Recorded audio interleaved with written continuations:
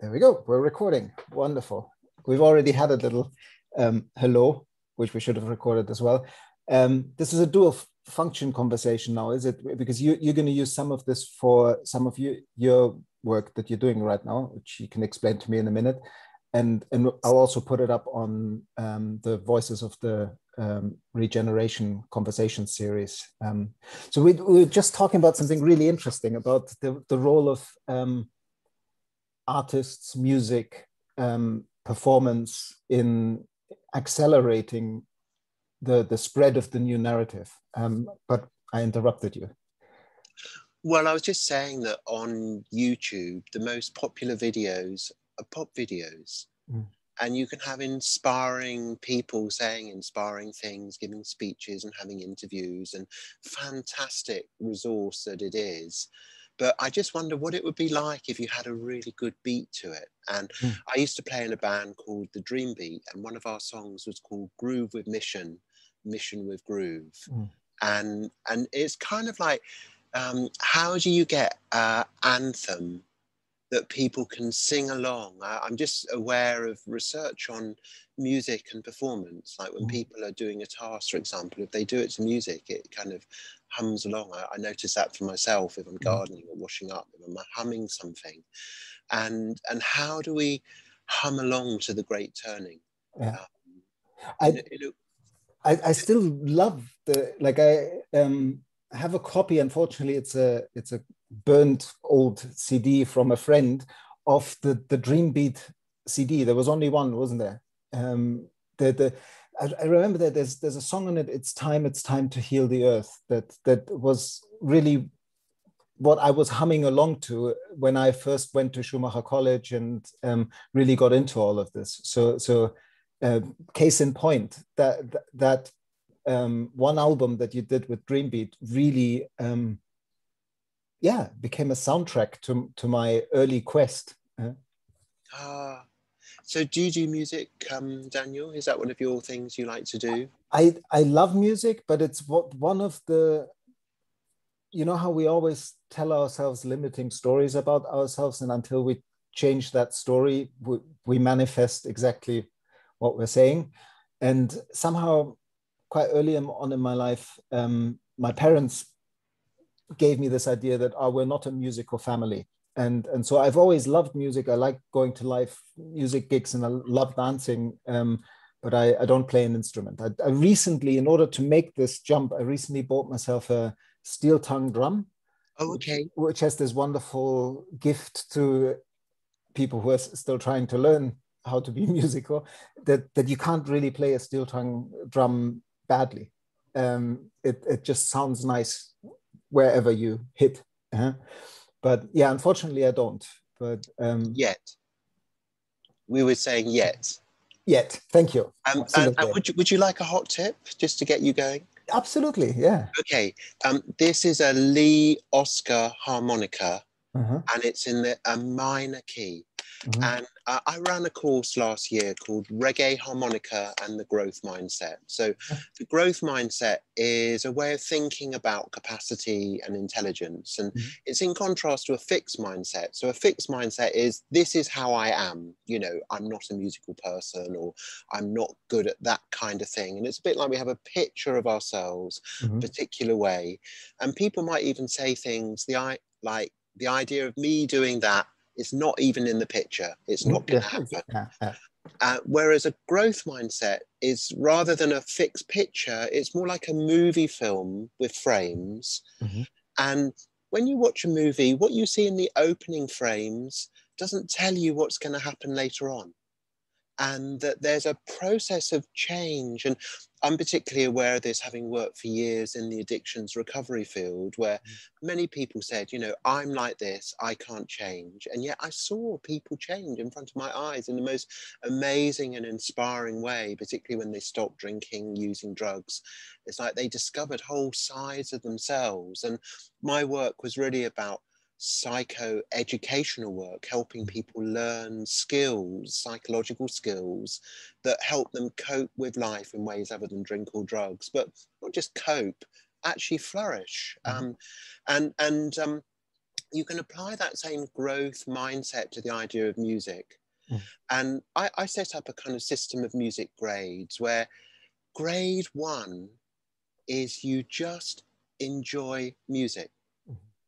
Now, it's interesting, we kind of think enjoy music, that's not good enough to get a grade. But in fact, research shows when they do brain scans of people listening to music and enjoying it, there's similar parts of the brain lit up to what happens when they're playing music. And it leads to an idea that music is an active process. It's like you're constantly in your brain kind of um, going along with the tune and anticipating what might come next.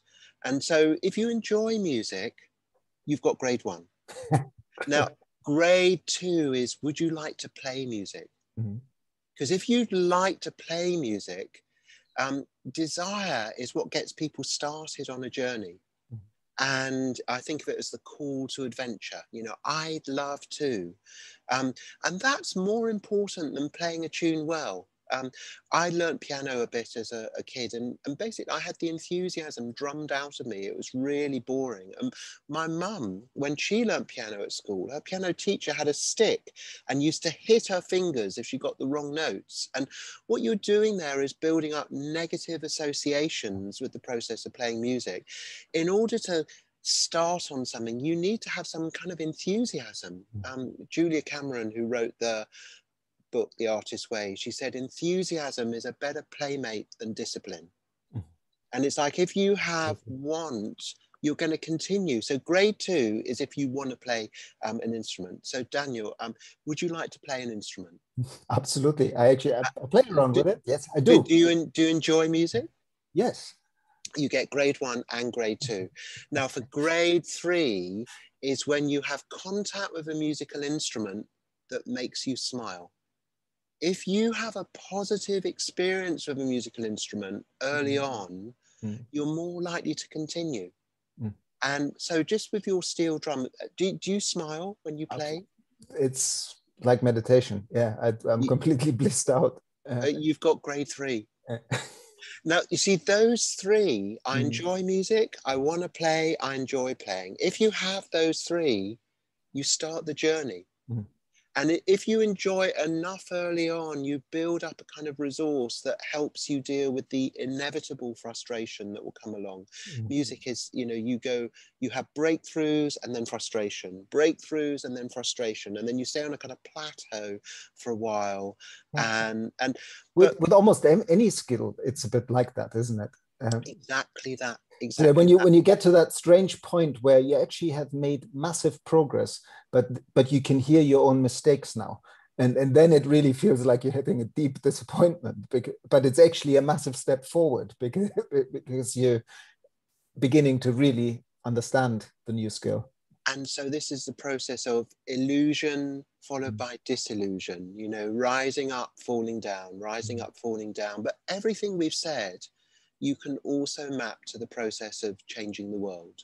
Absolutely. I was I was going to pick you up on that because that that, that whole developmental growth mindset that not fixing things into frames but but seeing how it's an evolutionary process it's a story transforming that is both personal and planetary and the two are linked um, that's really at the core of this notion of regeneration. Like the, the, the, the difference of working regeneratively is to work developmentally evolutionary in that what, what you because i also want to make the bridge to what you said earlier before we hit record because it fits so well to this like being a gaia groove burger a, a citizen or a, a, a burger being the german word for for um, member of a community um, and and being in the Gaia groove, aligning with life as a transformative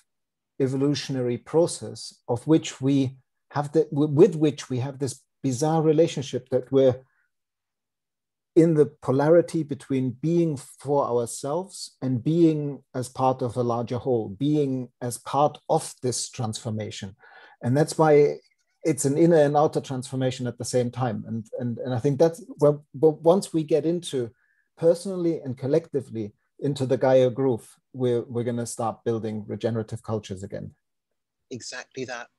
So I want to pick up. I'd love to hear more from you about mm. regenerative cultures because this is something I know you've given your life to, and you've really been at the forefront of. Um, fashioning concepts and presenting concepts that pe- I think are so needed in our time.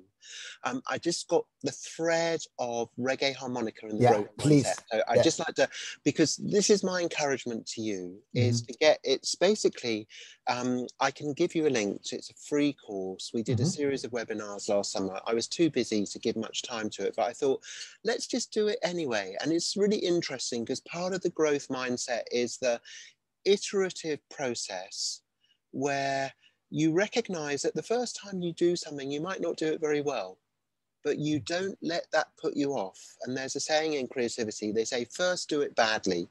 You know, doing it badly is at least making a start and you learn something from doing it badly mm-hmm. that you can then do it better next time and then even better next time. So I thought, okay, let's um let's lean into that idea and do this course. I'm too busy, I haven't got time for it. But rather than say it must be perfect before I do it, I thought, okay, well let's just give it a roll and see how it goes. And it was one of the most enjoyable courses that I've run.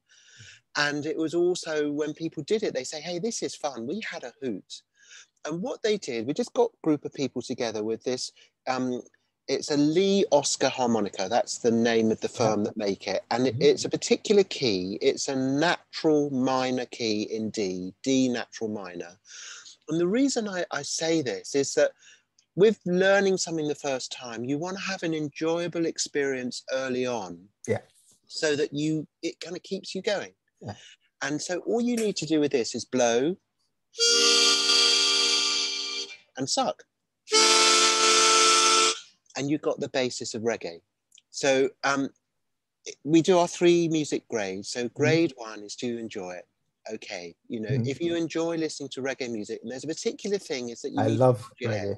Okay, so if you do this practice, you nod your head, and the thing is, is when you when my beard goes down, that's the on beat, but when my head goes up, that's the off beat. So mm-hmm. if you can do this, we, and then each time your head goes up, you go dung, dung, dung, dung, dung, dung. And I, I, I, what I do is I tap on the table when it's down, and then I mm-hmm. go dung when it goes up. Mm-hmm. Dung, dung, dung, dung. So that's playing on the offbeat. And then all you do is you blow and suck.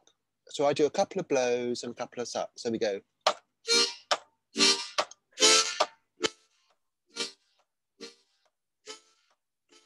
I reckon you could do that. Nice. And then what we do is um, we have this whole theme tune, which is around active hope. Mm-hmm. So this is the active hope theme tune. It goes.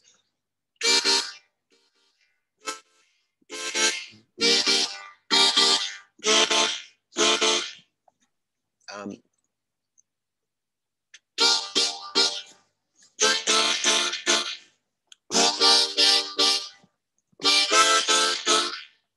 active hope. Mm-hmm. We're doing active hope. Mm-hmm. We're doing active hope. Mm-hmm. We're, We're doing, doing active hope. Mm-hmm. Just in that, seeing active hope as something that you do yeah. rather than have. And then the bass line goes, I'll do my bit. I'll play my part. I'll do my bit, act from my heart. I'll do my bit, I'll play my part. I'll do my bit, act from my heart. Oh, we go active hope. Mm. So anyway, I want to get into a uh, movement. And so the pieces are reggae harmonica and the growth mindset. And if we can get people to just play reggae harmonica in the key of natural D minor, and they learn the song. And I'm developing this into a pop video. This is my plan, you know, future yeah. truth. There'll be a pop video. There's already first version. So I've done that starting doing it badly. If, if you do a Google for um, or YouTube search for Active Hope Show 3, mm-hmm. I, I, I did this thing a while ago called the Active Hope Show. And, and number three is this song, Active Hope. And I'm wanting to do a new version at the moment. And I'm calling for recruits. And this is so, this is so brilliant, and this is so aligned with something that, um, like, for about three. Well, first of all, I need to say, um, you, you just for me hit hit a home run because um, Bob Marley is probably the one person that has been with me musically the longest from like the first album I put on myself kind of thing to I, I just recently put it on in the house we're moving into to open the space of the house with the, the Bob Marley live album. And um, and I particularly like Augustus Pablo, who has this this um, harmonica, uh, the, the, recorder um, that he plays, and it, it's very much like that tune. So you, you, this is brilliant, and and it relates to something that for probably about four or five years now, I've been since yeah since October 2016. I've been working with a woman, woman called Rola Kahuri, who runs uh, the Cloudburst Foundation, and um, we we created something called Common Earth, which helps the uh, Commonwealth Secretariat to open a conversation around regenerative development in the 54 nations of, of the Commonwealth. And, and Rola in her past has done, she was a UN peace child coming uh, from, from the Middle East and um, having worked in, in a lot of benefit concerts with, with hip hop artists and also with big artists like Sting and, and Bono and, and so on and so forth. And with her, we've been trying to get big names in the music industry involved in messaging the regeneration rising, the, the Gaia groove, the aligning with life, the, the, the deep ecology um, embodied. And um, as happens with these impulses, you, you have a few false starts. Like I almost met with Lenny Kravitz and, and then um, it, it didn't come together. And then I recently rekindled that few, um, maybe about a year ago and met the guy who um, who runs the Playing for Change platform. And one way to make this like turbo boost the, this idea that you're, you're talking about would be to, to keep working on it, but when it's up up there to, to link in with the playing for change people and maybe get a few other people to play it around the world. You know how they have the, these beautiful songs where people tune in from the beach in Jamaica or their London flat and they, they play together. Yeah?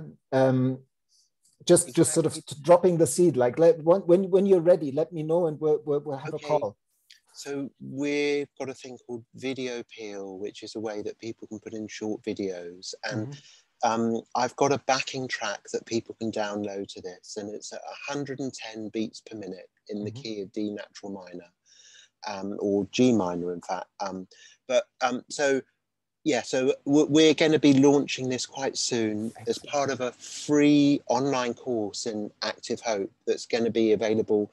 Um, there's a website, activehope.info, and then soon we're going to launch activehope.training.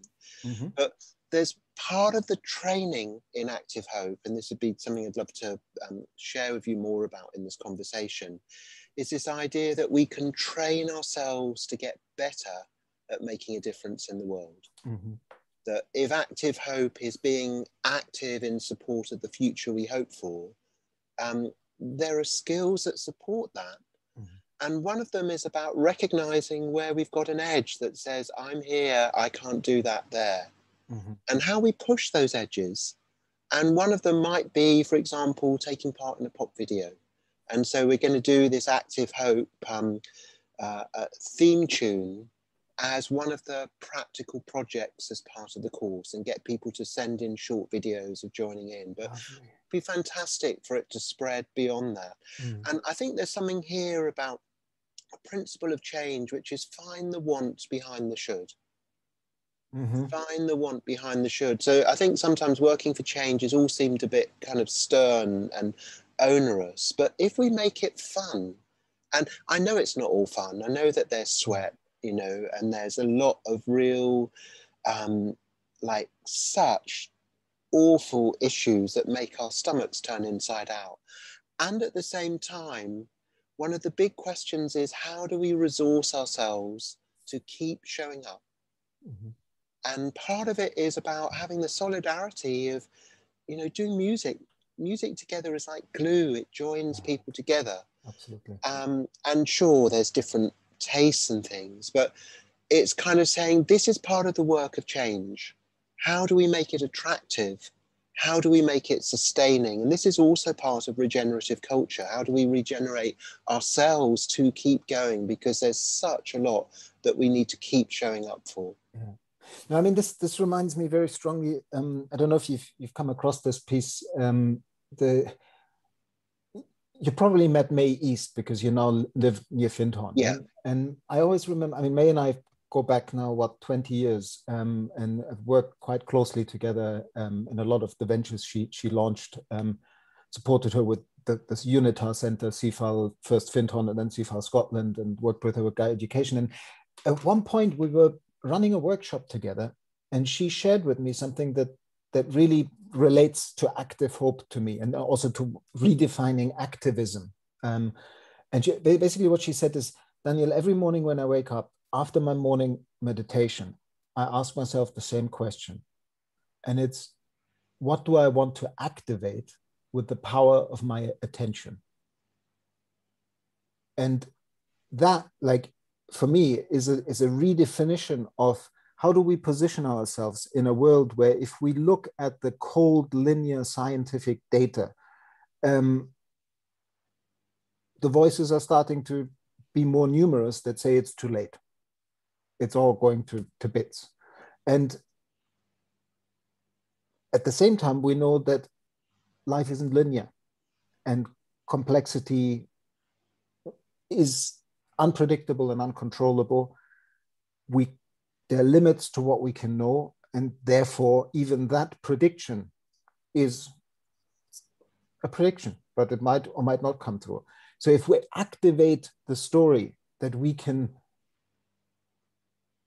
undo the damage that we've done over so many millennia by changing our way of seeing and our story and our narrative. That's at the heart of what I hear when I hear Joanna Macy's telling of the Shambhala prophecy. The, the, the, the punchline for me is manomaya, because it's mind made. Yeah? Like in, in that story, when he said the, the reason why the Shambhala warriors have the possibility of transforming is because it's mind made and what's made by the human mind can be unmade by the by the human mind and so if we if we really align as activists with it and, and what i find a bit difficult at the moment where where the deep um, adaptation conversation has been mistaken by a lot of people in a way that it's sort of about if you still deny that everything is in collapse and that society will fail, then you're just in denial. Uh, I don't find that a very helpful conversation because I think that beyond admitting that and fully assuming that, there's a space of active hope, which, which is to say, I can act from a different place and bring forth a different world with the people I infect by this way of working. And for me, that's something that Joanna taught me 20 years ago and and so I find it a bit insulting sometimes when a kind of recently activated um, deep adaptation person tells me, "Ah, oh, you, you're still too positive. You, you're projecting these possible futures of regenerative cultures when everything is going to bits." Now, I would love to to hear your your take on this. Um, how can we, in full knowing that there are many converging crises and that we're in three decades of a species level rite of passage where one of the components is not knowing whether you're going to make it because that's what cooks you. Uh, um, again, something that many years ago I remember walking with Joanna in the mountains north of Madrid and and asking her that question. And she said, Daniel, it's not about whether we're going to make it or whether we're not going to make it. It's also about if we're not going to make it, how are we going to go out? How, how are we going to live knowing that maybe we started processes that mean that life forms like ours might not have a future? Um, and that brings us into the moment of relationship, of celebration, of love, of, of something that Rilke saw 120 years ago when he said, Give me just a little more time so I may love the things until they're real and ripe and worthy of you. I feel like that's where we connect in that space beyond full acceptance of the science looks bleak, but we can still make a difference through active hope. Um, well, fantastic hearing you, Daniel, and, and also, you know, you asked my view, and I think also what you're doing is you're holding the question, and that's the question we need to keep coming back to. Just holding that question, like mm-hmm. we don't know, you know, we don't know whether we've blown it, we don't know whether we're too late. To and, and it's interesting, too late, too late for what? We don't really know, and so a lot of my work is um, about um, resilience, resilience training. And I was asked last year by a group of mental health professionals in Lebanon mm. to run a resilience training there. And they were dealing with collapse, economic collapse. Um, they've had civil war. They've been in, invaded and occupied by two neighboring countries, Syria and Israel, at different times. Um, that when they hear an explosion in the distance, it's kind of like that's not like something that's totally unusual. You know, it's kind of like, oh, we're being invaded again. And um, it's kind of, um, and, and on top of that, you now have COVID. And so they said, you know, Chris, we really want to look at what does resilience look like here? And I, um, so, so we met, we met every week um, from the middle of June um, and then into July. And then we'd had six sessions. And then on the 4th of August, um, last year, 2020, there was this massive explosion in Be- Beirut. Yeah, I remember. Largest yeah. explosions ever with thousands of tons of um, ammonium sulfate um, fertilizer, which is, is kind of like interesting, this thing about you can start with something as a hazard and if a hazard is ignored, it can turn into a harm. Mm. And if a harm develops, it can turn into a disaster. And if disasters aren't addressed, they can develop into catastrophe. Mm. And that, that kind of process, this had been a, a hazard for years, just lying in this warehouse in, in Beirut.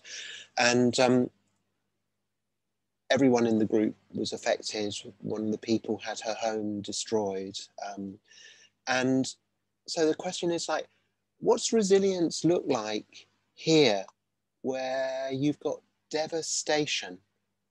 And one of the ideas we um, looked at, well, first thing is, is, is they said, thank goodness we're doing this training because this training is preparing us or has prepared us for the role that we must now play which is looking at how can we play a role in supporting um, resilience in beirut when there's so much happening that in terms of you know the uh, economic collapse the um, sectarian divides um, history of civil war, there have been earthquakes, they've also been badly affected by climate change. Uh, mm. The cedar forests, very special in Lebanon, have been um, affected by wildfires. Um, you, you, know, sorry to just as a little in parentheses, please continue because you mentioned the cedar forest. For me, this is one of the most root stories in the history of humanity that that the very fact that the oldest written record in existence is the Epic of Gilgamesh, which tells the story that Gilgamesh, the all powerful king, could do whatever he wanted, but he met Humbaba in the cedar forests of Lebanon. And Humbaba told him, The one thing you can't do is cut down the cedar forest. And because he was an arrogant king, he cut down the cedar forest and his empire crumbled because of a process that for modern day ecologists is downwind desertification. If you cut down the cedars in Lebanon, Mesopotamia will dry up and crumble. And how can we have the oldest record telling us, please, whatever, whatever you do, don't cut down the trees? and then spend 5,000 years cutting down trees. But, but, but sorry, like it, it's just because you mentioned yeah. the, the forest. Yeah. Oh, thank you thank you. The different threads that weave together in this story. Yeah. What what um, the group in, in, in, in Lebanon and Beirut um, said was that okay, our role here is to support resilience. And in the resilience training, some of the things that they found helpful was this idea of resilience as a, a, a story And we can, whatever we face, we can say, what does a story of resilience look like here? Um, and uh, core of that, I use this thing called the spider diagram, where if you imagine this, my hand is like the body of a spider, and each finger or thumb is a different way the future can go. Mm-hmm. And you can ask, say, what's the best that can happen here? You know, what would you be pleased about? What's the worst that can happen here? But also, what's most likely is somewhere in between usually, um, but it could be better than you'd hoped or even worse than you feared. You know, we don't know. Um, but this idea of just recognizing that whatever you face, it can go different ways. Mm. There's better versions of it and there's worse versions of it. And what active hope is about is going beyond the question what's the best, what's the worst, what's most likely. It's about saying, how do you make the best or better options more likely and the worst options less likely. Mm. And um, this thing about making it more or less likely is different from making it happen. Um, sometimes people can think, you know, solve climate change. There are the ultra optimists say, let's make it happen. Mm. and people say, oh, you can't make it happen. But this kind of, you can have an all or nothing of because you can't make it happen, what's the point? And people give up. Whereas a different view of influence is rather than control, make it happen or don't make it happen, a lot of these, most of these issues are so much bigger than us that we mm. can't mm. make them happen, but we can make them more likely. Mm. We can make climate change more likely.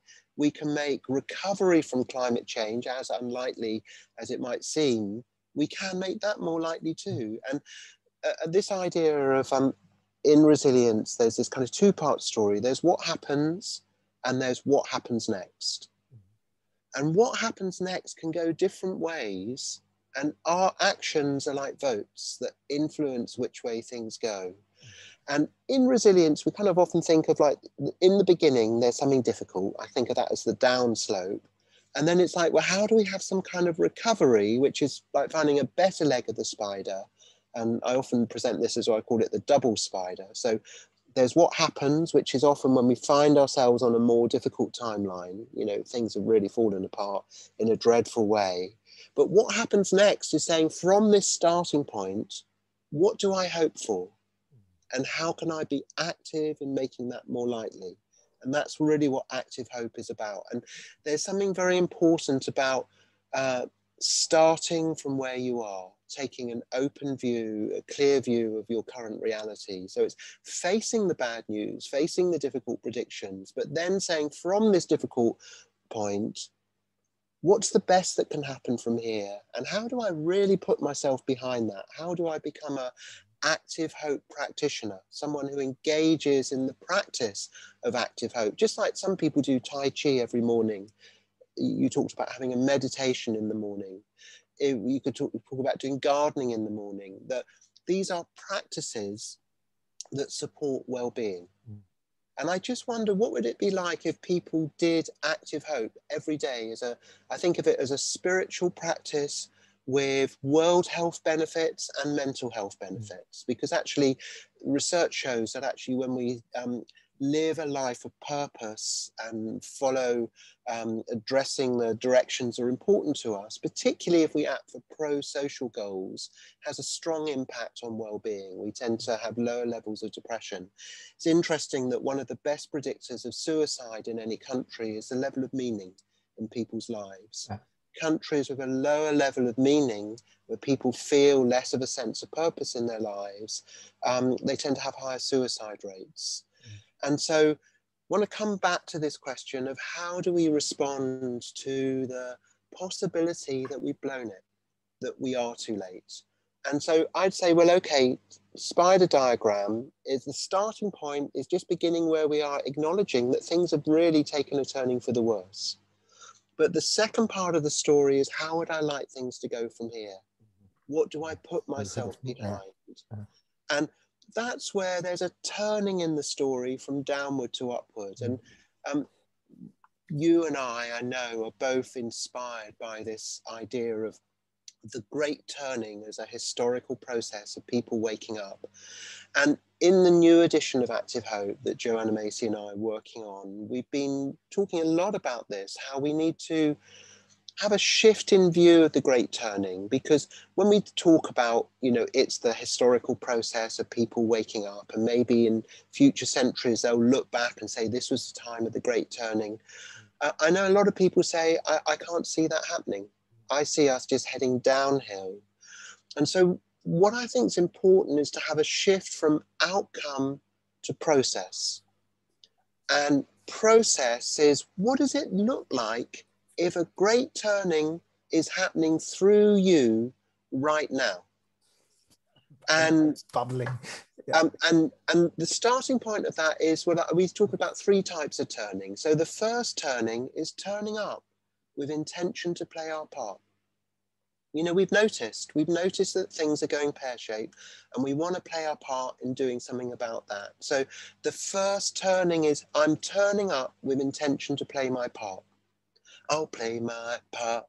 I'll, I'll do my bit. I'll play my part. I'll do my bit. Act from my heart. Okay, so that's number one. And then there's also, well, what do we need to turn away from? We need to turn away from wrecking our world, cutting down the cedar forests, you know, cutting down the trees that create a, a desert of our world. And then we need to turn towards, we need to turn towards Daniel, we need to turn towards you and the work that you've been doing about regenerative culture. Mm.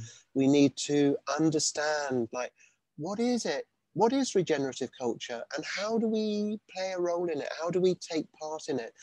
And this idea that one of the choice points available to us is what happens through us. Mm. Well, this this is so fundamental to like it, I find it like I, my whole cells were kind of firing all over my body as as you were speaking be, because it's so aligned with with the way I've come to see this transition and and you know how you can tell this story in so many different languages. Um, there's a sort of indigenous deep knowledge that tells the story of participation in a great unknown. Um, I first like I, I ended up going to Schumacher College in 2001 to do my master's in holistic science because I read a number of articles by Joanna, by John Seed, and by Fritjof Capra. And they all kind of coincided with talking about this place, Schumacher College. And then I thought, oh, I need, I need to go there. And um, at Schumacher College, I had this wonderful time, like opportunity to, to learn um, with a man called um, Professor Brian Goodwin. I don't know if you ever met him yeah. personally. And, and Brian is one of the really amazing, like he's a mathematical biologist, um, one of the founding fathers of complexity theory. And, and really what, what he was teaching us back then is that the whole prediction and control and manipulation proposition of a dualistic science, reductionist science of if we just have enough data, if we just understand it all better and have better models of the how the system works, then we can predict and control it, is, is fundamentally mistaken because any system that has more than three interacting variables is by its very nature a complex dynamic system and they are fundamentally unpredictable and uncontrollable. And and the one big lesson out of that is that the the proposition changes from trying to predict and control trying to work towards defined outcomes towards appropriate participation. Because the whole thing is in constant like the Lorenz attractor the, the, the in, in, chaos that the, it, it keeps repeating itself but not quite.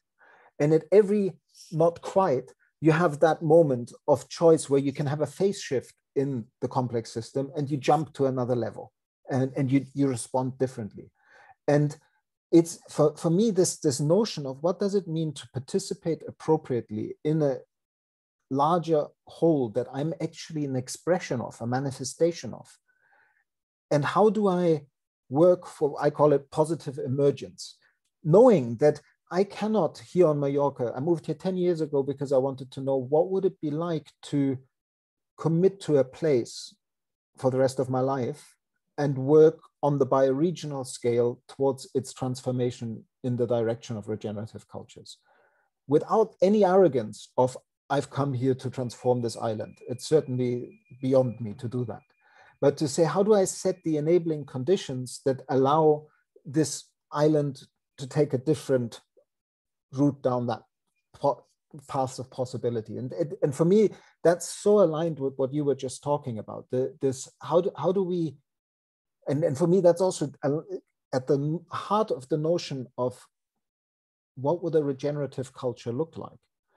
Is that shift of stopping to to even paint the picture of that perfect regenerative community or that perfect regenerative bioregion or the regenerative future that we now design in multi-layers and whole systems design and whatever you want to call it, as if it's a fixed state that one day we will arrive at and then we'll live happily ever, uh, ever after and can down tools. I think that's where we're setting ourselves up for failure because what we what we should arrive in. And it's also to do with this active hope when you don't know whether you're going to make it or you don't know the future is to say the journey matters and we will never arrive because we are life and life is on a continuous exploration of novelty. And in that is a dual like there's the, and also I, I, learned that from from joanna um, many years ago. And like she's really been probably one of the most influential people i've ever met on on, on my life. Um, to really accept that immortality as all the wisdom traditions have talked about it was never about living forever as a skin encapsulated ego. It was always about life living forever. And if we realign into that process, it doesn't matter whether we're going to make it or not. Because if we live now in this process as the full expression of life creating conditions conducive to life, of life aligning with its own tendency to make the world a place where more life can happen, then we're in the Gaia Groove. Um, then we're, we're, whether then we're doing our bit exactly how we're supposed to do our bit and letting go of knowing where the story will end because we don't and we'll, we'll never know where the story will end. Um, it's it's about living it now. Oops you're you're muted. I love hearing you. Um, and some words that have landed strongly with me are appropriate participation and it's also something about um, a shift in question. So the question, will we make it? We don't know. And we brush that aside and we ask instead, well, what would we want to make? What would we want to make and how do we turn towards that? How do we appropriately participate in supporting that? And I think of um, hope that uh, some people say, oh, you know, we're in a post-hope era and you know that, that they talk about hopium as somehow a misleading thing. And i know um, uh, you can use hope in, in, in different ways. And um, there's a term around hope literacy. It's more like well how do we um, um another term might be hope skillfulness or, or, skillful hope. There are different you can use hope unskillfully and you can use it also more skillfully and the idea of um, thinking of hope purely in terms of probability, like are you hopeful, yeah. that can become a block if people aren't hopeful. And this I learned from working in the addictions recovery field, where many of my clients were post hope in that kind of way. Um, if I'd asked them, Are you hopeful that you'll get well? They say, Well, that's certainly not my experience. You know, I've tried stopping so many times, and every time I try and give up alcohol or um, stop using drugs, you know, I succeed for a while and then it all comes crashing down, and I can think, What's the point? Mm. But if I ask people instead, What do you hope for? People would tell me what they hope for. I hope to wake up in the morning without feeling so awful that I'm, you know, shaking like this unless I have a drink. It's a nightmare for me. I hope to get out of this nightmare. And so then the question comes well, if you were to have a turning, like starting by just turning up with intention to play your part in this moment? You know, can you do recovery just for the next five minutes? What would that look like? What would you turn away from? What would you turn towards? And we can have the same view that moving away from are you hopeful? My level of hopefulness rises and falls depending on what I look like, but there's a lot that makes me profoundly unhopeful. But I don't let that stop me because I'm clear what I hope for. Mm-hmm. And this question what do you hope for? Do you hope that there will still be life flourishing on this planet a thousand years from now? Mm. I do. I think, it, you know, I think life is just amazing. Do you hope that life will be flourishing on this planet a million years from now? Yes. And then it's a question of, well, through your actions, are you making that more likely or less likely? And our culture is making that less likely. Certainly, in terms of human life flourishing a thousand years from now, we're doing extremely well at making that less likely. And this is one of the reasons why I wanted to talk with you, Daniel, because I really appreciate the clarity with which you've written about overshoot and collapse. Mm-hmm. And what I'd ask for you, one of my hopes of this conversation is just to have a video of you describing what is meant by overshoot and what that might lead to. Could you, like, just for a kind of beginner's mm-hmm. guide, you know, um, beginner's mind kind of approach, what is overshoot? Well, one way of um, thinking of it in a um, in a metaphoric sense is to think of an apple tree, and if you live next to an apple tree and you take the apples that you can pick every year, and I know you you like growing fruit as well. Um, um, as long as you take care of the apple tree and you maybe distribute some of the seeds that the, that you take out of the apple before eating it you're in a system where you're living off the interest of the, the system to use a, uh, an economic term you, you, you're taking annual bioproductivity and you're consuming it to do what you should be doing, which is to make sure that the system is healthy so its bioproductivity is the same or higher next year. The minute you start taking more than that, you, you, you literally cut into the apple tree. Like you, you, you're decreasing, you're like you're living off your capital and not your interest. You're um, reducing the capability of the system to be flourishing the next year and provide next year. And we, as, as a human species, and really importantly as a very small fraction of the human population because if we blame humanity we're being incredibly unfair to 85% of humanity who had nothing to do with pushing us into overshoot in the 1970s my entire life i was born in 1971 is a life of humanity and overshoot around about the time that i was born compared to the global population then humanity started to consume more than the planetary bioproductivity was provide freely it was able to provide freely and abundantly um, every year. Before that we lived of the in interest and then we started living off of the capital. And the problem with that is that the more you do that the less life is going to be able to generate so the amount of abundance generated begins to decrease as you keep consuming more and more. And that's, that's the dead end that we're he heading towards. And I find Mathis Wackernagel's um, global footprint network and, and this notion that, that he invented of um, World Overshoot Day is, an, is a nice way of, of understanding how this has progressed over the years. If you, if you think that in 1971, uh, 1970 around about, was the first time that by December 28th or 29th, we had used up everything that life could produce in that year, uh, the, the, like the, the abundance, the surplus. Um, every year, that date has moved backwards. By the 1980s, it was somewhere in the region of, of November um, or, or even October um, that all of humanity had, had used up bioproductivity. Now we're at a, last year was the first year that this steady progression towards earlier and earlier in the year, which for global average was in 2019, somewhere um, at the very beginning of August.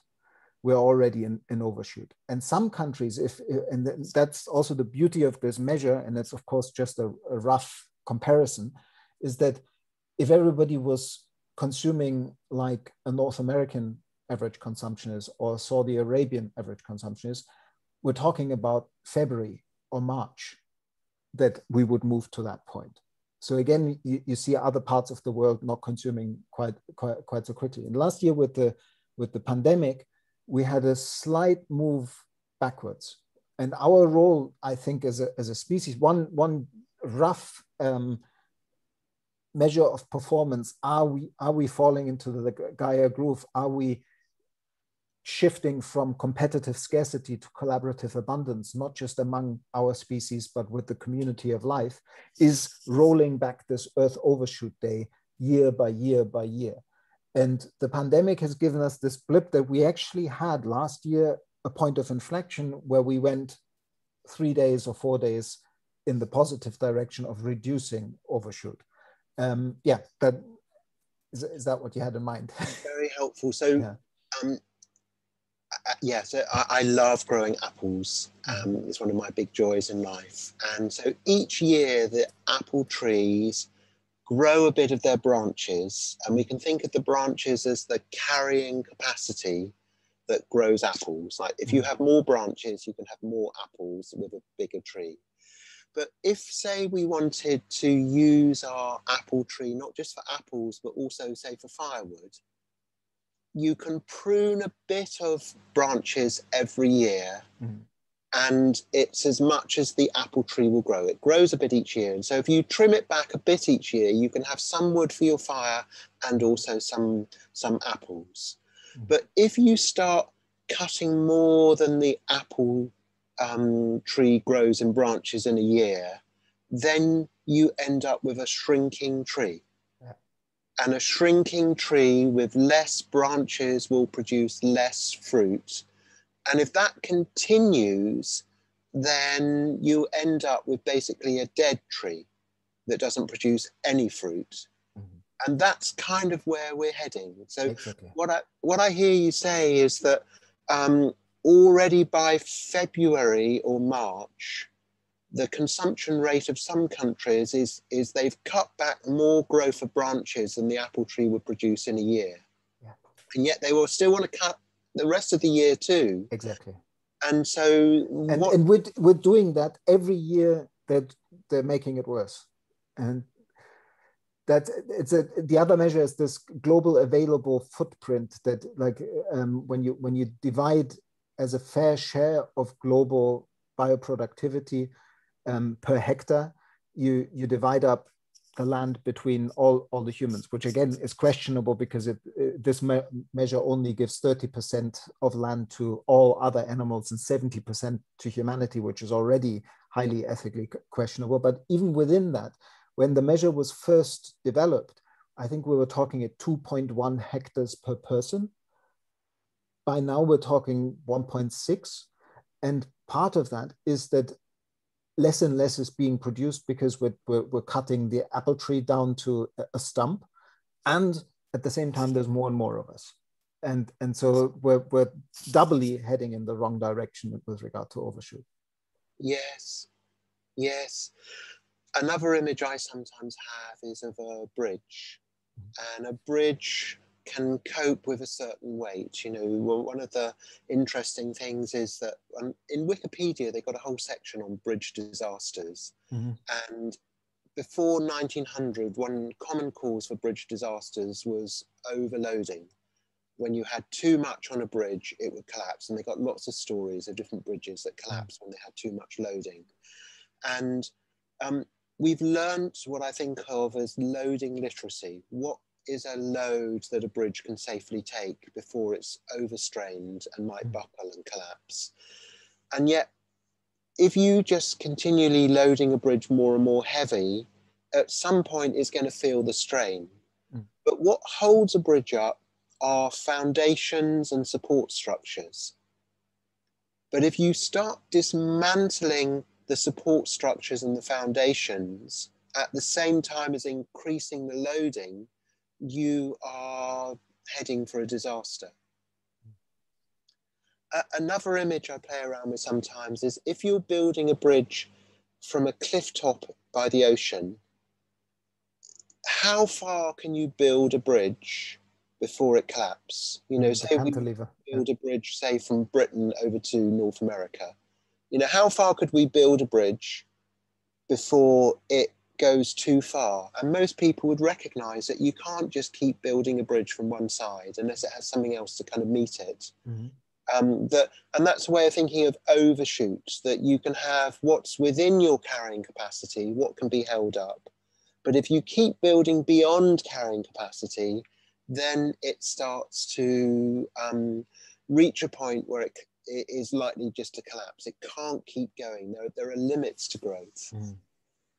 I don't know how any of these images sound to you. No, I like the apple tree better because I have this general um, habit of mind of checking when I've heard myself just use a metaphor, whether it was a mechanistic or an organic metaphor, um, because I, I, I, organizing ideas are incredibly powerful. That's the that's the manomaya bit, and the if we use engineering metaphors, we we project our being into an engineering world. If we use organic living metaphors, we project our being into an organic living world. And, and so, so I, I prefer the apple tree to, to, to the bridges, um, but, but, but yeah, they, they, they make the same point, um, a similar point. And what's missing with the bridges is regenerative capacity. Exactly. It's the magic of life. Exactly. It's like there, there's something that basically, if, if you use a me mechanistic metaphor, you will get into the conversation about the second law of thermodynamics and um, the march towards maximum entropy and um, the universe running down. And if you use organismic metaphors, you acknowledge that it's not about not like like uh, not accepting the second law of th thermodynamics, but it's paying attention to the time scales at which physics works which is these eons of time that for human perspective and life's perspective is just too vast. But a few billion years in that longer time journey of the universe story, where life can create conditions conducive to life, where life can be working against the second law of thermodynamics. Life is, as a regenerative community, nested on a planetary scale from you and I being communities of various beings maintaining the health of what we call ourselves, to ecosystems and the entire planet, one living structure, life is a negentrophic or syntrophic process. It temporarily, in a, on in a particular place, works against this march towards entropy. And, and this is this amazing capacity that we as life need to realign with. And, and, and it's also in terms of active hope, for me, um, this relates very strongly to, you probably read um, Paul Hawken's wonderful book, Blessed Unrest, where he was highlighting all these organizations around the world doing positive things in social, ecological, and, and, and other spheres. And, and he called this the planetary immune response. And I, I think there's a deep insight in there that that is worth sitting with more when we talk about active hope. That it's not just because you were saying earlier um, outcome oriented. Uh, like there, there's something different about working regeneratively, which is not to work from the problems, but from the potential of manifesting our highest calling, our high, our, our, our gift. What what the Sufis say, well, you came into this work with written on the back of your heart that you need to discover this is my essence. This is what I can share uniquely in a way that no other human being can. And then to understand that in order to manifest that, we actually need to do so in service to the next larger whole that we're embedded in. We need to do so in service to our families, our community, our, our bioregion, our, our planet. That's how, as individuals, we actually have the, the, the highest form of self-individual expression is in service to the larger bit that contains us. And, and, and for me, for me, that's the, the, the shift towards this living regeneratively, aligning into this process of how can I make health not something static that we bounce back to, or resilience, something that we fall out of and then we have to go back to it, but continuously evolve into this dynamic process, this capacity to keep responding. What you were speaking uh, to, to in this shift towards like redefining the great turning, not as from A to B, like, oh, what, when are we going to get through this great transition and then we've arrived on the other side, but to really pay attention to the being as much as the doing, because the being in this non temporal sense of being an expression of the larger doing, which is life in itself, is actually vital. And I think that's what we need to come back to much more is, is to be regeneration on all levels, to regenerate ourselves in order to regenerate our capacity to be in service to our communities and to regenerate our communities and regenerate their capacity to be in service to their bioregions and their ecosystems. Um, but yeah, in, in, in, a, in a paying attention to what, how we are as as much as what we do. Yes yes. I'm really enjoying hearing you. And i'm also aware of time and i wanted to check with you what your time boundaries are and also that we don't go into overshoot. Yeah.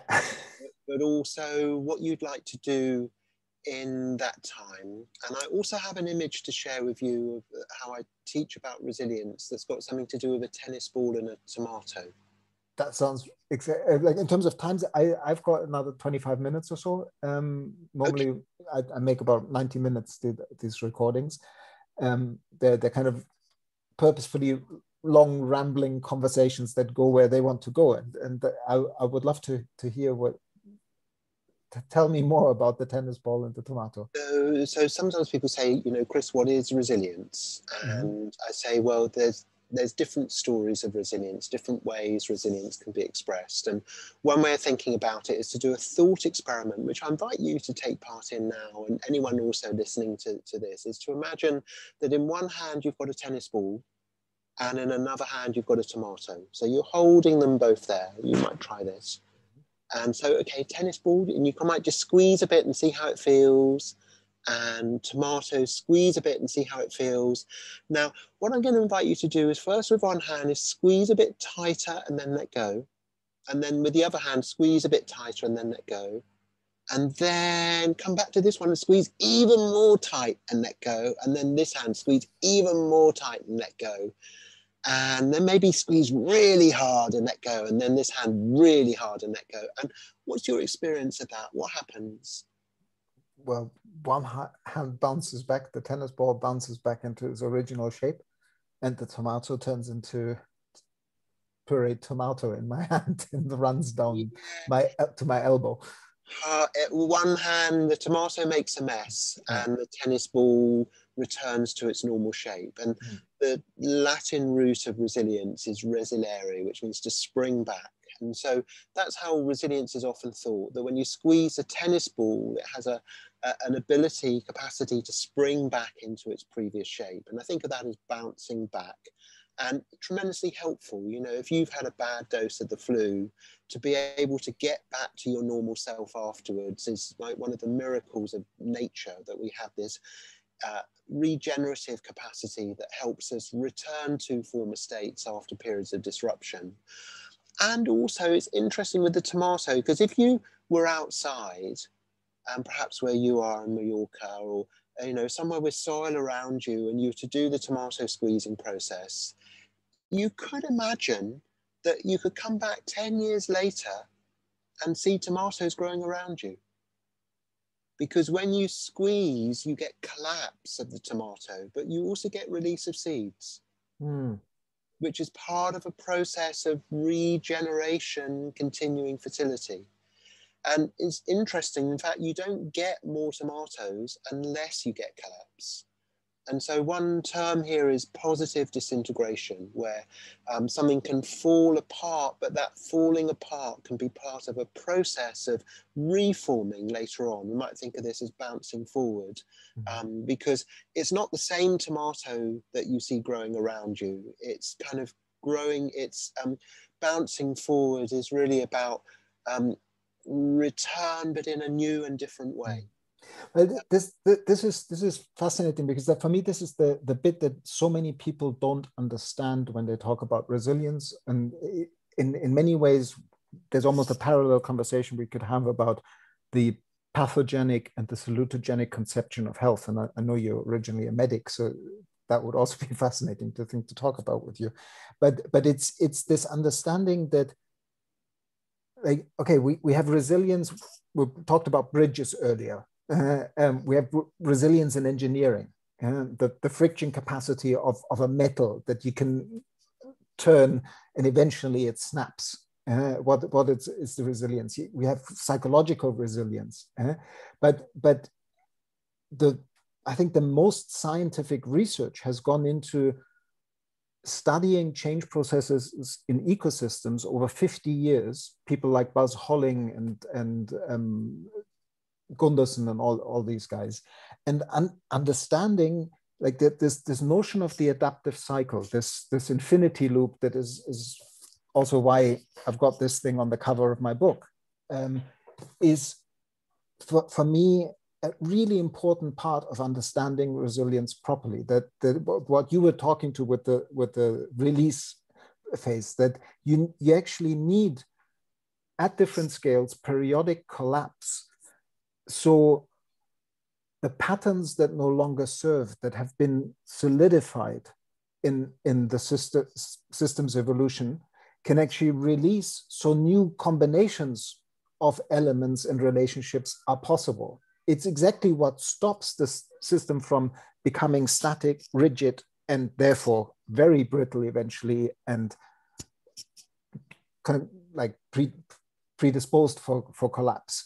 Um, is that we need collapse at different scales in order for the whole process to continue living. It's, it's Goethe's death is life's ingenious way to create plenty of life. Understanding that it's not about not no, no, breakdown or no collapse. That breakdown and collapse is exactly what, what we need in order to keep evolving. And and there's a but I would also love to hear you a bit about because you you've written a book about seven ways to build resilience. Um, so you, you think a lot about resilience.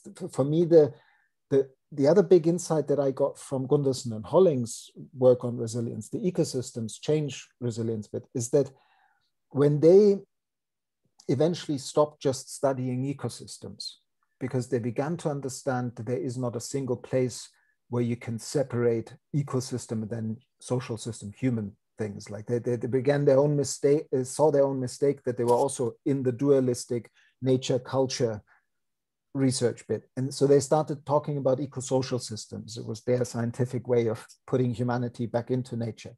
But in exactly that moment, they also began to realize that the minute you put human beings into the system, you put the capacity for foresight and anticipation into the system.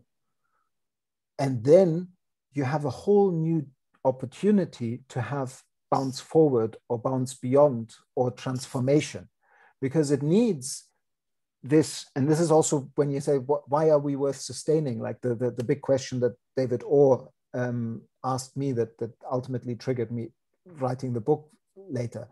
Um, our role as human beings is that we are life becoming conscious of itself. I mean, I'm, I'm, I'm kind of taking all old to Athens. I actually want to read this bit because I think this is one of the most beautiful pieces of writing I've ever read by you and Joanna.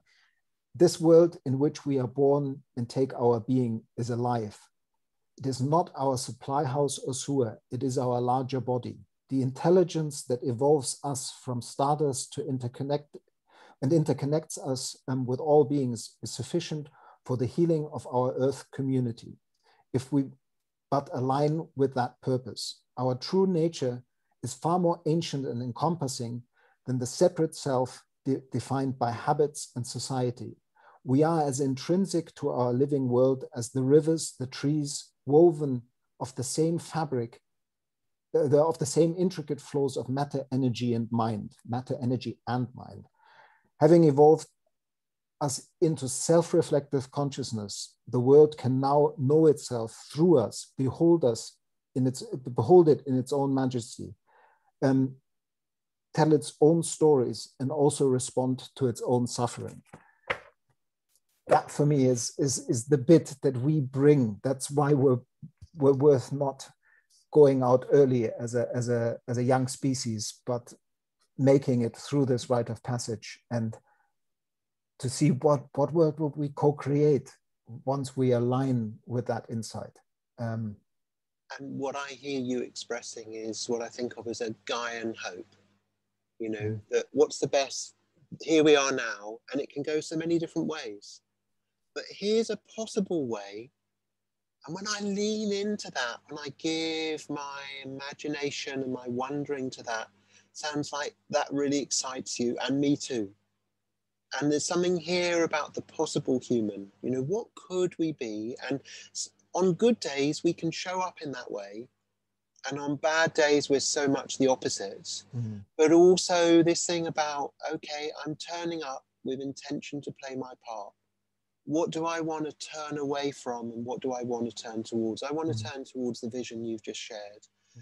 I want to turn towards the possibility that life can happen through us in ways that lead to uh, a much better expression of how things can be. And it's interesting this thing about how we look forward because I think of resilience that there's some resilience is really about uh, capacity, skill set, strength um, to that helps us face and respond to adversity. But the thing about the adversity is sometimes it's in the past, sometimes it's in the present, and sometimes it's in the future. And it's kind of saying in this story you know here's me facing dot dot dot whatever it is and what helps is. So i'm thinking like okay sometimes here's me facing here's me facing there are things that have happened in the past. There are things that are happening in the present but also some of the biggest disasters are waiting for us in the future. It's a bit like they're in the post, as it were. You know, they haven't arrived yet, but certainly they've been set in motion a series of processes that are sending them our way. And some people might say, well, they're in the post, there's nothing we can do. But what I'm interested in is, well, okay, whether they happen or not, one thing that is for sure is that there's different ways they can happen there's different versions of them happening. And I'm wondering, okay, what's the best version of my nightmare? What's if my nightmare was to turn out a way that I hope for, what would that look like? And how can I play a role in making that more likely? And it leads into a, a different view of um, in resilience um, one of the terms is bouncing forward. And, and, and i think of it as the transformative dip where we go down but that changes us in ways that has benefits. And that's often thought of as post-traumatic growth. And there's another lovely term adversity activated development. But if, if we work with this idea of adversity activated development we can be activated by adversities that haven't happened yet, but are reasonably foreseeable. And so that leads to what I think of as pre traumatic growth. Pre traumatic growth is we see the crashes that we're heading towards, and that wakes us up. It acts as a wake up call that we can do things to say, well, what can I do to make the crash less likely? You know, there might be some crashes I can avoid and there might be some crashes where I don't know if I can avoid them, and maybe it's not likely, you know, maybe they're so much set in process that they're going to happen anyway. But there's still different ways those crashes can happen. and what's the best story? And I like this story of the collapse of the tomato because when the tomato collapses, it releases seeds of potential future growth. The future growth is not guaranteed, it depends upon the right conditions. And what would it be like if we were really committed to saying, well, what are the what's the best that could be retained of our current civilization? What would be if we wanted seeds to grow into anything, what would we take as seeds? What would we want them to grow into? And how do we put our lives behind that? So I, I see you planting yourself in Mallorca, sort of a sense of, okay, this is a big enough, um, big enough to be significant, but also small enough to be something that I could imagine influencing in a significant way. I don't know whether I will or not, but it's a great story mm. that me planting myself, you know, me as a seed or as a, sometimes it's not, not so much seed, but we're a, a facilitative influence on seeds around us. If I was to really um, give my life to the story of seeds planting in Mallorca of regenerative culture, and I don't know what will, that will do, but it's a great story. I love the idea of that happening through me. And this is where I love the idea of um, Arne Naess talked about a beautiful life. A beautiful life is where you are have something that's good for you and good for the world. And um, I think also one of the things that's really good for us is to be living a story we have our heart in. Mm-hmm. I think one of the reasons there's such high levels of depression is because the story, main stories on offer, aren't very wholesome. You know, the story of winning and losing creates a frantic race where either people are climbing to the top, worried about people stabbing them in the back who are coming up behind them.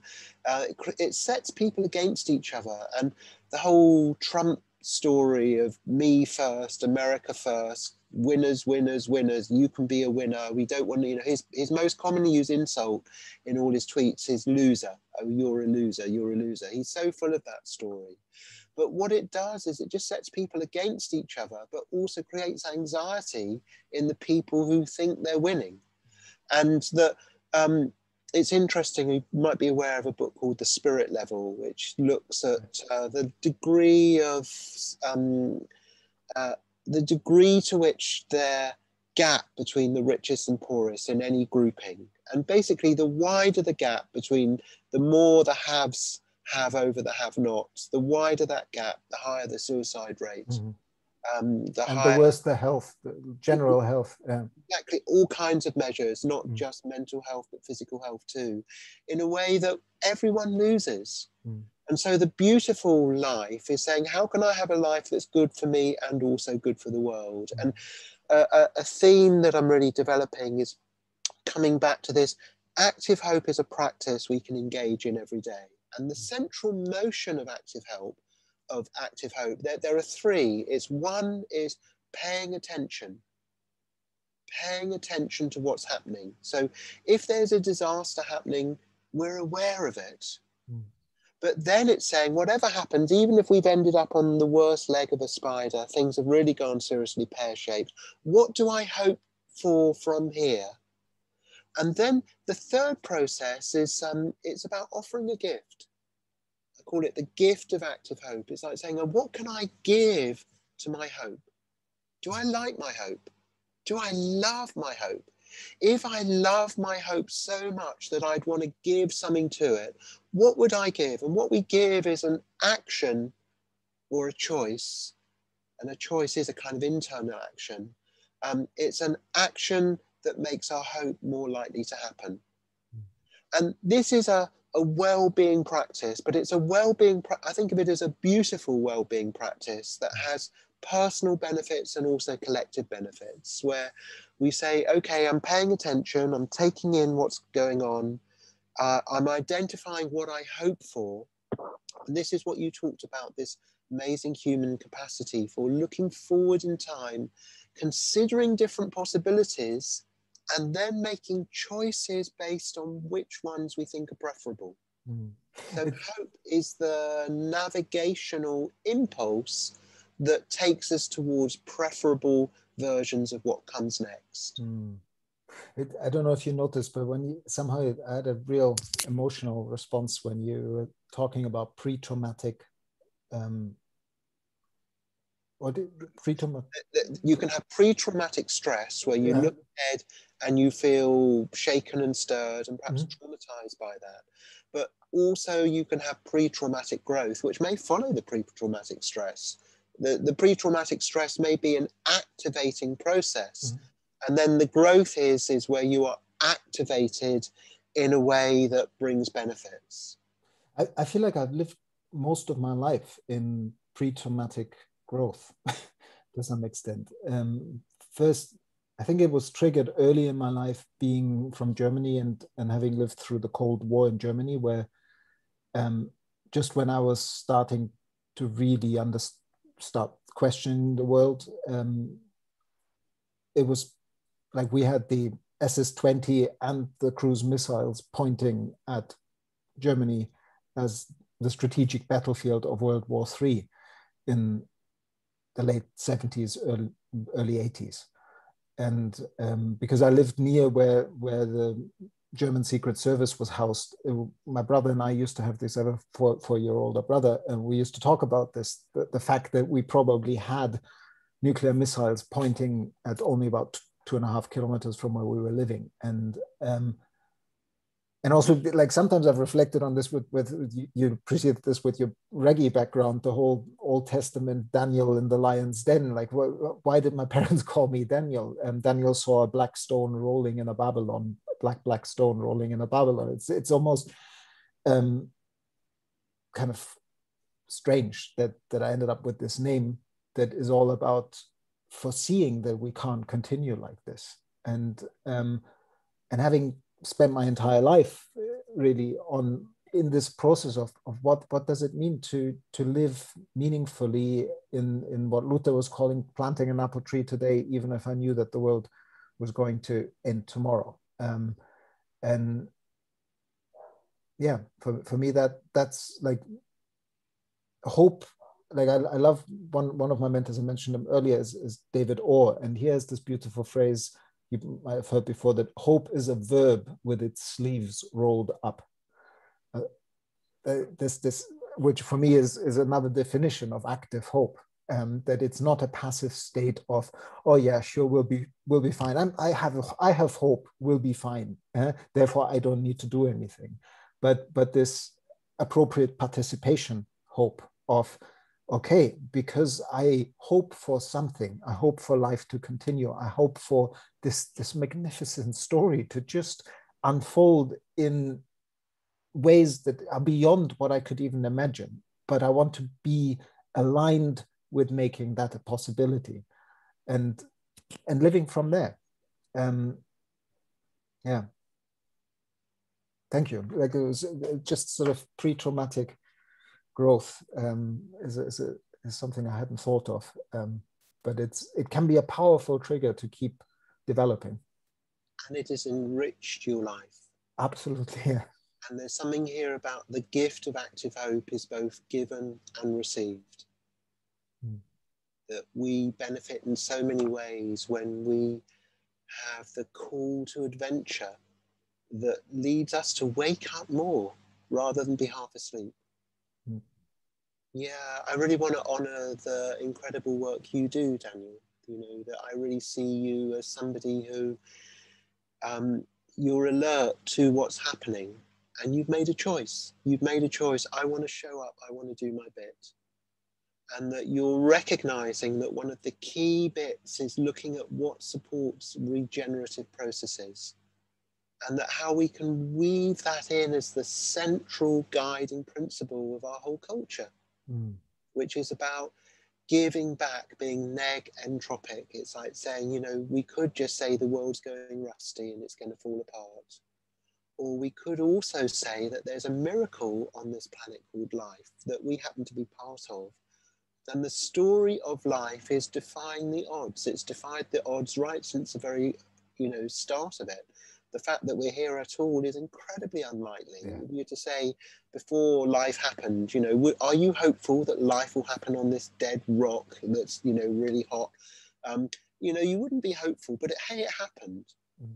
Would you be hopeful that these little kind of squidgy little single-celled organisms would develop in so many incredibly different ways over the history of life?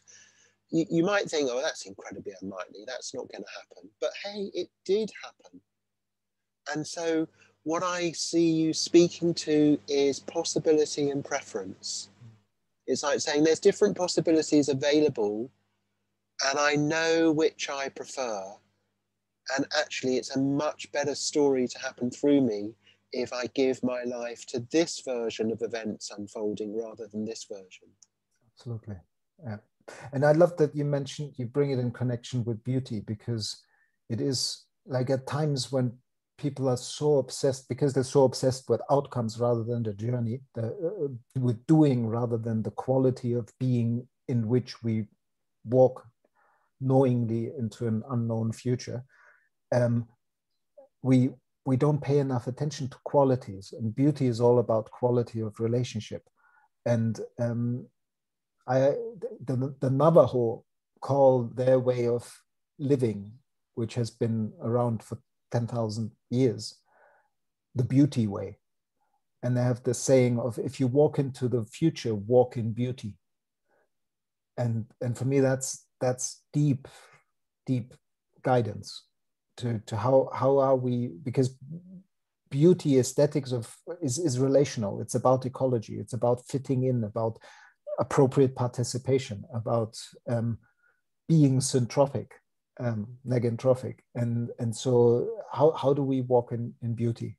Um, and I, I mean, I'm aware we're at the end of our, our time, but no, normally I start these conversations with, with inviting the person uh, that I'm talking with to tell a little bit about their own story. And if you don't mind, and if you have another few, few minutes, I, I would really, because it's from I've known about you for 20 years. Um, I've, I've read The Great Turning Times in 2002, 2003. I, we mentioned earlier, Dream Beat is still one of my favorite CDs. Um, my first connections with Joanna and Kathleen Sullivan and some of the, the early people promoting the work that reconnects, there was always um, Burger, uh, the, the Gaia Groove Burger. Uh, um, what, what put you onto your stories track? Like what what was your journey from from being a medic to um, meeting joanna and and and now doing the the, the work you do? Um, yes. So um, it's really interesting because uh, I, I, I, often get people to kind of draw a line when they think of their journey and then mm. think about what are the important shift points along the way. So a shift point might be I woke up in the morning and I was here. And by the time I went to bed at night, I was here. That something had happened in that day. And very often it is a conversation. It's a conversation. And I think of meetings. So I think of this. This is a beautiful conversation. I'm really appreciating with you, Daniel.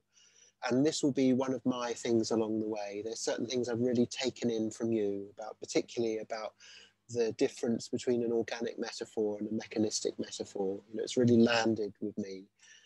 And, and I, I'm really grateful to the many people along the way who've had important lessons for me. So I was lucky to have an option to do an O level in environmental studies when I was, you know, 15 or so. And to, I, as a kid, loved rock pools and the rock pools around Brighton, where I used to go to school, had all been silted up because they'd built a marine there, a marina there, mm. and the crabs had died. And so it's like noticing impacts. Um, I used to love collecting tadpoles and you know little rivers, and then seeing an image of a whole river just full of dead fish floating these are some of the images along the way that kind of landed in a way that woke me up to hey we're making a mess of things here. We're killing off something which is important. And then also like you i grew up in a nuclear shadow. I was um, um, born about 10 years before you, but I remember when I was a student in the early 80s having nightmares about the prospect of nuclear war and of being activated by the peace movement. That was my route in. And um, I became an activist as a teenager, uh, particularly in the peace movement. But through the peace movement, that was my political education, really. And um, from there into the green movement and also the holistic healthcare movement as well, that these different threads work together. And it was through that my first long-term serious girlfriend, um, Anne, um, had worked with Joanna Macy in the early 1980s on one of Joanna's very first trips to Britain, um, teaching, um, as it was then, despair and empowerment work. And um, we, um, Anne and I also then went and uh, as part of our medical training, because Anne was training to be a doctor too, this is when I was a medical mm. student, we went, um, we read Joanna's book, Dharma and Development, which was about the Sarvodaya movement in Sri Lanka. And we went and spent um, uh, 10, 12 weeks in Sri Lanka working with Sarvodaya, mm. which was bringing together personal development, community development with spiritual development. And this kind of model that brought together personal and planetary with a larger story of what we can become. And it really took root in me. And then it was at Glastonbury Festival in 1985. I did a, a despair and empowerment mini workshop. And that really touched me. And, and then, you know, there's been this whole trail. I did an intensive weekend in 1988 with Pat Fleming and Helen Kuroda, where I spent an afternoon crying. And mm. it was a sense of discovery. I think what it was particularly is in Sri Lanka, I'd spent some time at a center for abandoned, malnourished children and mm. seeing human starvation, human starvation, not because of illness, but because of neglect, really. You know, abandoned children, children not having enough to eat. Like it kind of really landed with me. Like, yikes! You know, what are we doing? Like, it's particularly in the West. It's so easy to carry on with this business as usual in a way that just ignores the fact that hundreds of millions. I say that again, hundreds of millions of people don't have enough calories every day to meet their basic needs.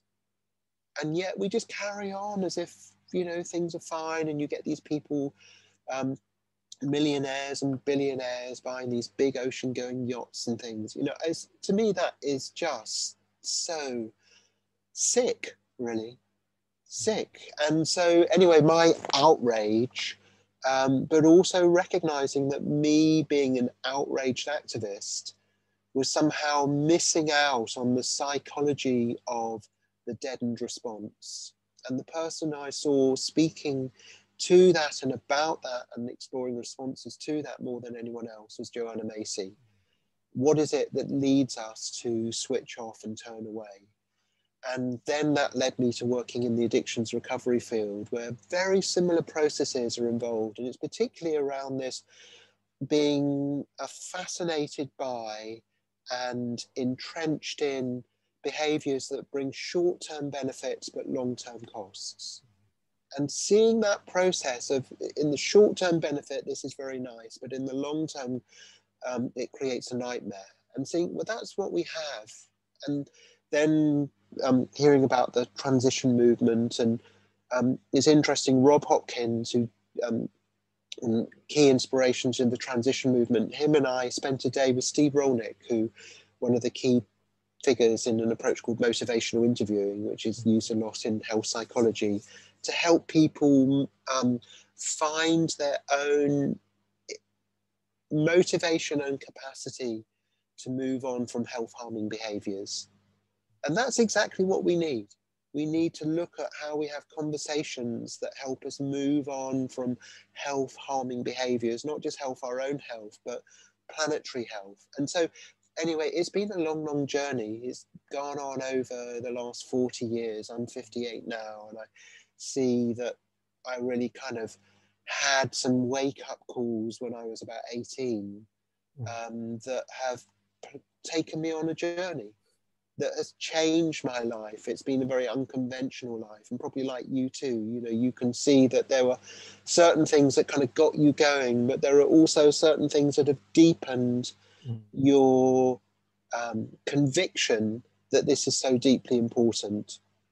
But there are also discoveries that you've made along the way that give you a sense of promise and possibility that there are tools that you found that you've also played a role in developing and shaping and transmitting to others. And I think that's a journey that I've been on, like you too, is like saying, okay, there is this mess. And like great adventure stories, after the call to adventure, there's a journey of seeking out what might help, seeking out allies, implements, insights. And that's been my life. And as you get older, you gather more of them, but then also you don't want to keep them all to yourself. You want to look at how do we pass them on, and and I suppose that's my role. I see, particularly through online education, to set up uh, online sources, courses, and resources that help pass on the insights and practices that support our best response to the mess we're in. Yeah, so aligned again. Like I, I spent spent a lot of time with um, working with Gaia Education. Still do um, right now, not as much as as before, but I'm sure there will be other phases. Um, and if I think about what have I done in my life that really made a difference, um, like the opportunity to rewrite the curriculum for this online course in design for sustainability that has been taught to thousands of people all over the world, young activists who've gone on to do wonderful projects based on this very complex, large canvas map of the social, ecological, economic, and worldview dimension of the great turning of designing for sustainability um, or moving towards regenerative cultures. Uh, that's been one of the things that I'm most proud of having having been been somehow part of. And but before we close out, just because this has been something in, in, my mind since you started when you shared that you're doing this online course on active hope. Um, have you come across the work of uh, Robert Gilman and the In Context Institute?